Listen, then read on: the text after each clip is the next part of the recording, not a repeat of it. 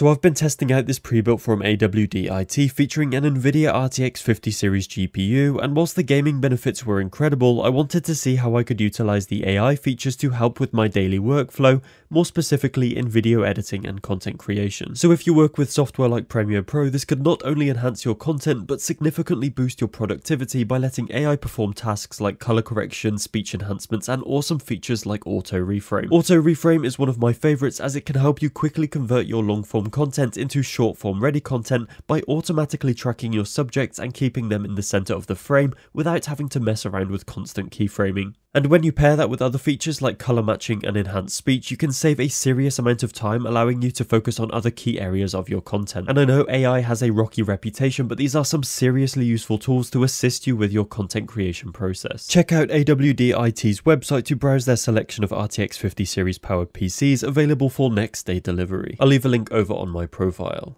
See ya.